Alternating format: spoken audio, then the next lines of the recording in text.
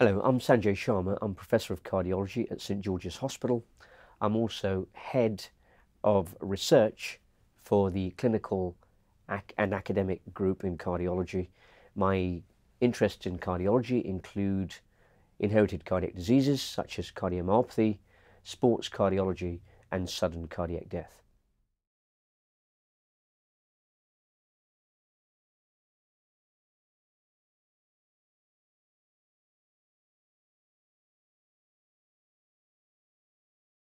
Sudden cardiac death is a feared complication of cardiovascular disease in the United Kingdom. It affects about 120,000 people in this country and the vast majority are aged between 50 and 80 years old. Very occasionally, a young individual may die suddenly from a heart problem and these deaths clearly cause a lot of concern in the community because they are counterintuitive and lead to a large number of life years lost.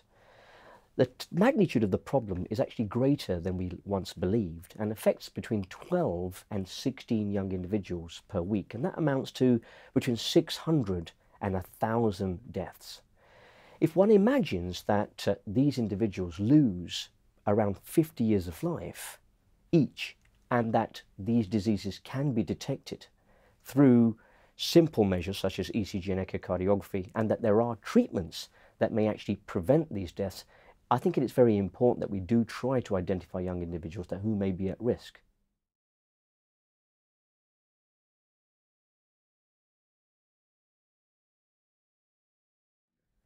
The sad thing about this whole thing is that sudden death in young people affects people who are apparently well and look healthy and have no symptoms at all. In fact, 80% of young individuals who die suddenly from heart diseases such as the cardiomyopathies and the ion channel diseases and congenital accessory pathways of the heart have no symptoms whatsoever and sudden death is often the first presentation.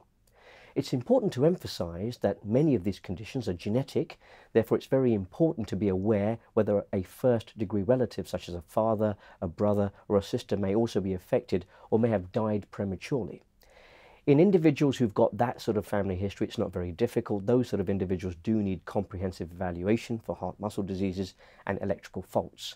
It's very difficult to identify others because they've got no symptoms at all, and therefore some form of screening procedure is required.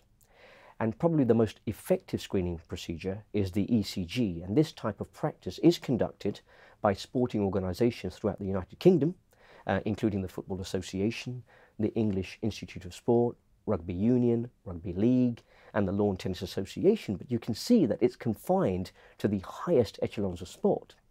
Whereas we know that the vast majority of people that die are usually relatively sedentary and recreational and often of school age. So something a little bit more elaborate is probably required in this country.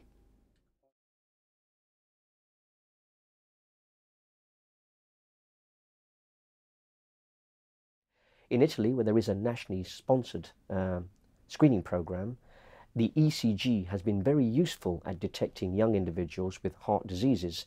And since its implication about 30 years ago, sudden death in sport particularly has gone down from 3.6 per 100,000 to 0.4 per 100,000, and that represents a 90% reduction in sudden cardiac death in sportsmen.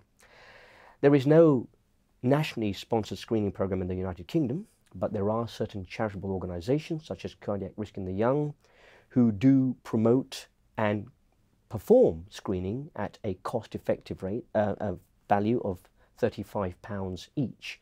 And this involves a health questionnaire pertaining to cardiovascular symptoms or a family history and an ECG. Now, the ECG will clearly detect electrical faults such as Wolff-Parkinson-White, long QT syndrome, and Brugada syndrome, but it will also raise the suspicion of a heart muscle disorder such as hypertrophic cardiomyopathy, in which the ECG is, ab is abnormal in around 95% of cases.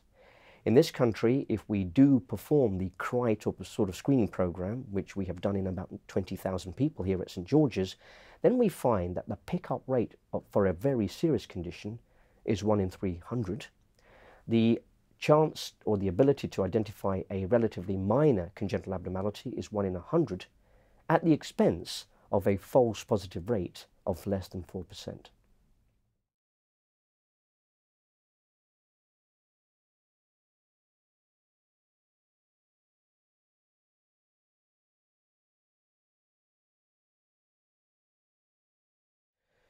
The good news is that sudden death in sport is rare and affects only 1 in 50,000 individuals.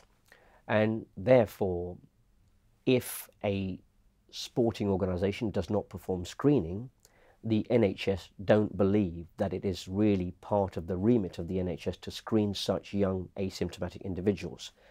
In that group of individuals, there are charitable organisations such as Cardiac Risk in the Young who run a screening programme here at St George's twice a month and this screening program is advertised daily in the Evening Standard and can be uh, resourced from the internet and people who are interested can sign on if they're aged between 14 and 35 and have a cardiac evaluation here at St George's Hospital one weekend.